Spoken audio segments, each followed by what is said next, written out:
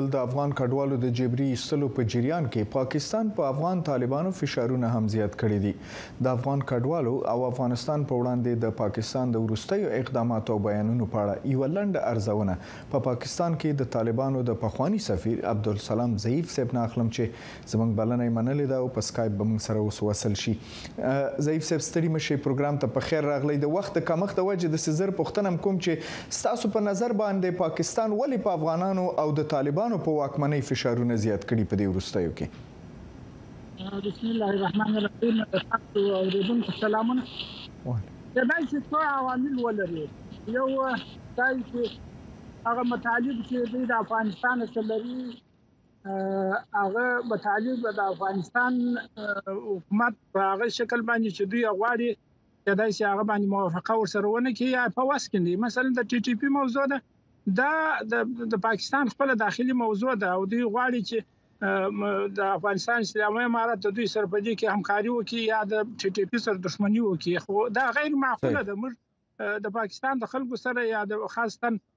د علماو طالبانو سره د دوی لپاره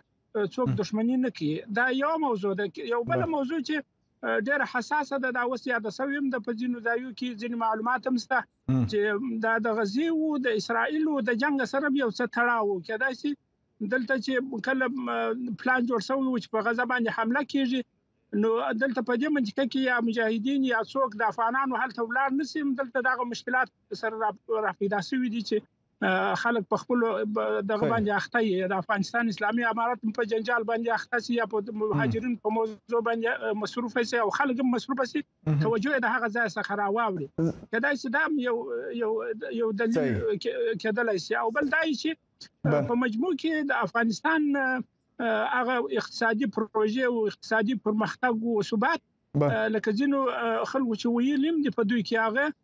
د دوی د پاره د سي د زغم وړ نه ځکه دوی چې د امریکا سره یو وخت خبره کوله د خدای د جمهوریت په وخت کې خبره کوله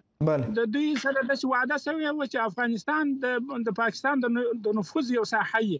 او د په دې فکر اوس اس نه ده ځکه افغانستان یو خپلواک هیواد دی او په سیمه ټول خپلواک هیواد او دا خپلواکي هم کېدلی شي د دوی لپاره ډېره د منلو نه یا او هغه د نفوس ساحه چې د دوی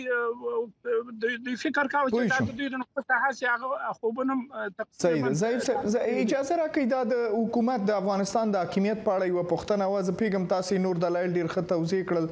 د پاکستان ټول تقریبا د تیر حکومتونه او خاصتا پوځي ادارې د د افغان طالبانو د رهبری مثلا د رهبری سره ډیر قوي او د شک پرته ملاتړي بلل کېدل اوس څنګه یو ځلی د طالبانو سره دا مخالفت خیر پیدا شو دا فکر کوي هم دا علتونه چې تاسو څرګند کړ کبل علت لري دا ما زه په ډیرو کانفرنسونو کې ما شرکت کړی او په هغه وخت کې په اروپا کې چې به کوم کانفرنسونه کېدل په داخل افغانستان کې و یا د افغانستان د باندې په نور ځایو کې و په هر وخت کې چې په کم کانفرنسو کې به ځوم هلته به پاکستانیانو اشتراک کاوه یا په مستقیم ډول یا د دوی ځینې ریټایرډ جنرالان او د دوی هغه چارواکي به و مخکنی هغه به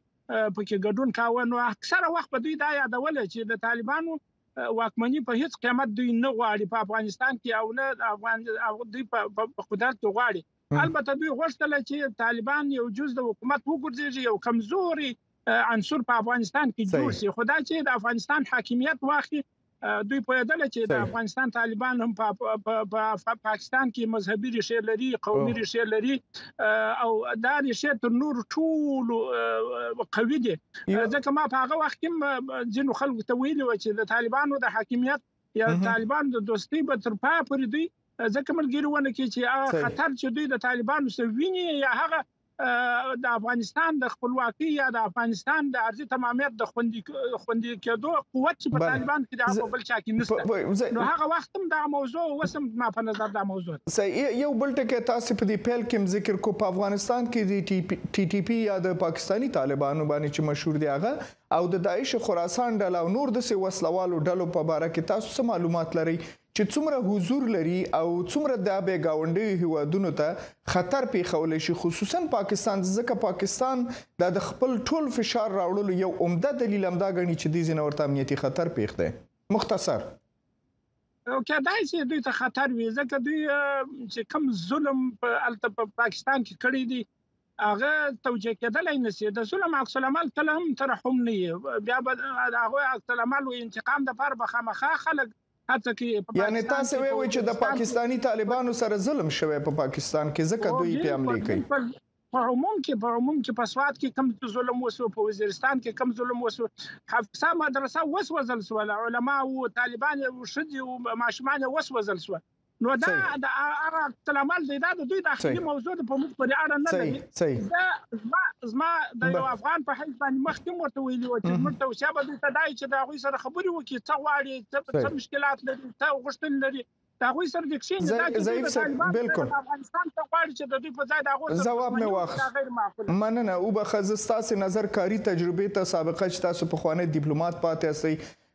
تاسو به اورئ چې دا د ډیورنډ پورې غاړې پښتانه د پاکستان د حکومت په ضد باندې لاریون ته وتلي دي، پرلتونه یې کړي دي او ډېر اعتراضونه کوي او د دواړو غاړو ولسونو ته دا د پاسپورټ او ویزو اخستل نه مني. ستاسو نظر څه دی چې په ډیورنډ کرښه دا د خلکو تګ راتګ باید په څه ډول وشي؟ د ډیورنډ کرښه زما د نظر حقوقي نظر څخه یو ظالمانه کرښه ده چې په یوه زړه باندې تېره شوې ده او یو زړه یې نیمی کړی دی. دا هیرڅ وخت دا قومونه ویشل کیدلای نسی او د دی قرابت و رشتې داش کیدلای نسی کیدای سی دغه یو علت چې ما مخ پاته نسوم چې وایم هغه هم دای چې دوی دغه هڅه کوي د پښتنو په لاس باندې یا د دسي خلکو په لاس باندې چې نسبت پښتون ته کیږي چې یو نفرت را وپاري د دوی په مابین کې یو نفرت جوړ کړي خو خلک پوهیږي چې کیسه د کومه ځای څخه ده او ستراتیژي او هغه پلان او پالیسي د کومه ځای څخه جوړیږي نو دا دا د د ډیورن کرښه دا غیر قانوني ده دا غیر شرعي ده او دا یو ظالمانه کرښه ده او په هیڅ قیمت باندې دغه قومونه په دغه نامه یا د پاسپورت په نامه یا تذکرې په نامه باید بیل نشي ځکه د دوی رفت آمد